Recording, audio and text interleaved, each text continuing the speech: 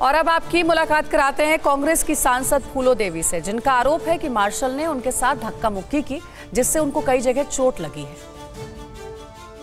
कहा जा रहा है कि आपको असॉल्ट किया गया पूरा विपक्ष आज एक साथ खड़े होकर यहाँ विजय चौक पर बोल के गया है कि सिर्फ़ और सिर्फ़ मार्शल्स को नहीं बुलाया गया बल्कि विमेन एम को भी असॉल्ट किया और सुनने में आया कि आपको चोट लगी है। बताएँगे कि हुआ क्या? बिल्कुल आ, जो पुरुष मार्शल थे। उन लोगों को धक्का दिए और दोनों बाजुओं को पकड़े थे, जिसके कारण चोट भी आया है, पीठ तरफ़ भी लगा है, कमर में लगा है पसली में लगा हुआ है।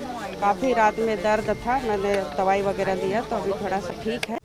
मैं एक ही बात कहना चाहती हूँ कि एक महिला सांसद के साथ इस तरह का व्यवहार करते हैं तो भारत देश के महिलाओं के साथ क्या होगा? महिलाएँ आज भारतीय जनता पार्टी की सरकार में सुरक्षित नहीं है। बच्चियों के साथ आए दिन बलात्कार होता है। जो आवाज़ उठाएगा, उसके आवाज़ को बंद करने का कोशिश करते हैं। ऐसे लोकतंत्र की हत्या की जा रही है, ये नरेंद्र मोदी जी की सरकार। अड़ी सोमवार से शुक्रवार शाम छह बजे सिर्फ़ टीवी नाइन भारतवर्ष पर।